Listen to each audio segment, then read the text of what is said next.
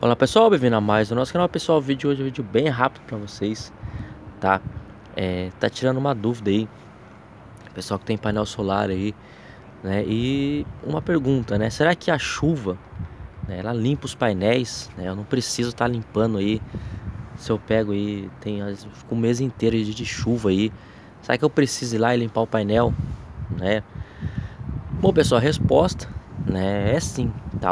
A chuva ela não vai estar tá limpando 100% aí os painéis, tá certo? Ó, semana acho que passada choveu, né? Tá aqui um, um painel, ó, tá? Se a gente for chegar bem perto dele, a gente vai ver bastante sujeira, tá? Poeira, ó, ó.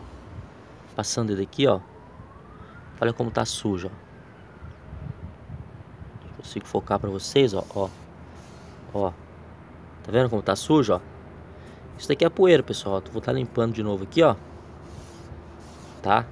Aí, ó. A sujeira que fica, ó.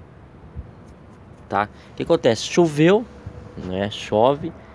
Aí vem poeira, vem essas coisas e impregna aí e fica na placa, tá certo? Aí você, ah, não vou lá limpar o, o meu painel, vou deixar lá uns 5, 6 meses sem limpar.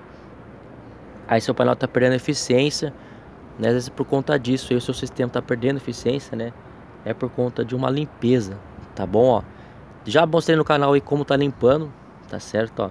Mas de, de praxe aí, pega água, detergente neutro aí, você já consegue isso. Tá limpando mais nada, não precisa jogar produto químico, nada. Água normal aí de, de torneira, né? Se desce para deixar ser um cloro, melhor ainda. Joga num detergente lá e tá, tá limpo os painéis aí. Beleza, pessoal? Então isso, qualquer dúvida, se tiverem, comente. Quem quiser acrescentar uma coisa, fica à vontade tá bom? Mas vocês estão vendo aí o painel aí tá com bastante, né? Não sei se pelo vídeo dá pra ver, mas aqui dá pra ver bastante aí poeira, tá bom, ó?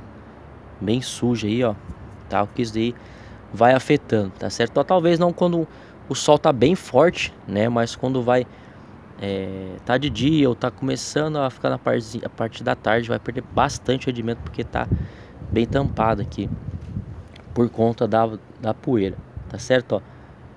Beleza, então curtam esse vídeo, inscrevam no nosso canal. Valeu, um abraço, tchau, tchau.